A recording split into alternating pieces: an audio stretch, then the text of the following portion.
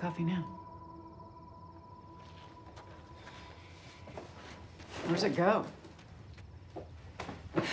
Just outside the fence. Gotta be 300 meters long. Must have used some kind of drill to get it done that fast. Well, don't rule out extremist gophers.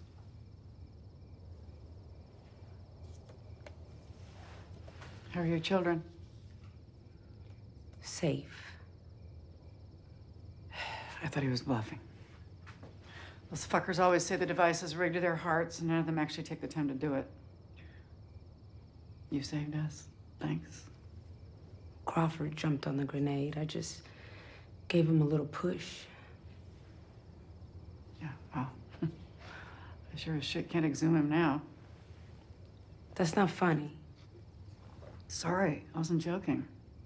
You guys just scheduled this funeral so fast. Kind of weird, considering it's an active murder investigation, by the way. But uh, we were literally going to dig him up tomorrow. Discreetly, of course. Why? Your chief was murdered by the 7th Cavalry. I get it. There's a history. But you still have to consider other possibilities, right? If, for instance, I was at the crime scene earlier, and you know what I saw? Tire tracks right at the base of the tree. What kind of vehicle?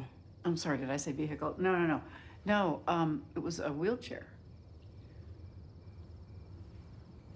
I mean, I get how you guys missed it. You know, he was your chief, he was your friend. It's hard to do your job well when you're that close to someone. That's why I'm here. Hey, did you know that he had a secret compartment in his closet?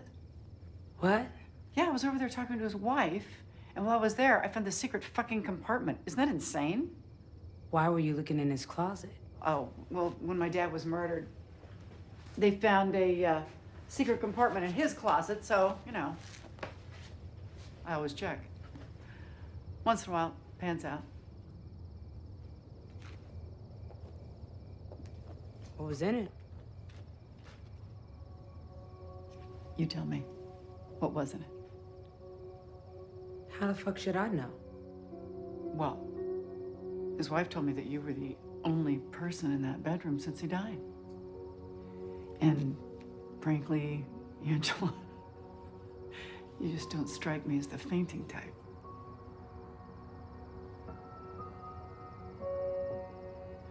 Okay, I'll tell you.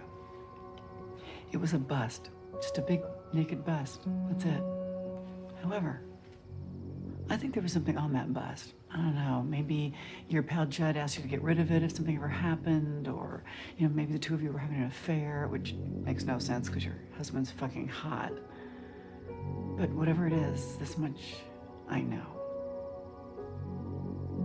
Men who end up hanging from trees with secret compartments in their closets tend to think of themselves as good guys. And those who protect them think they're good guys too. But here's the thing about me, Sister Night. I eat good guys for breakfast.